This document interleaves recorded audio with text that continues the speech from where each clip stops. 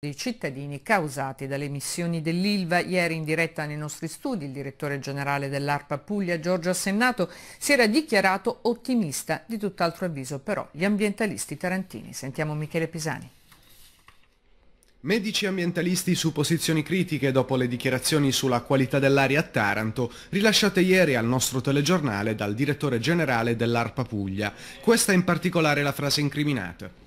Quello che si può dire è che ora, anche grazie alla chiusura di sette batterie di coccherie su 10, la qualità dell'aria a Tamburi è eccellente. Il presidente della sezione pugliese dell'Associazione Internazionale Medici per l'Ambiente, Agostino Di Ciaula, replica ricordando che sabato scorso a Taranto i valori di particolato erano quasi il triplo della soglia consentita per legge e proprio il particolato, puntualizza il medico, è la causa di patologie tumorali e non, come dimostrano lo studio Sentieri, le perizie della magistratura e i dati sui ricoveri dell'Osservatorio Epidemiologico Regionale. Il presidente di Pislink invece usa carta e penna per confutare le parole di Assennato. A Taranto il PM10 ha un potere in termini di impatto mortale 2,2 volte superiore rispetto al PM10 di altre città italiane.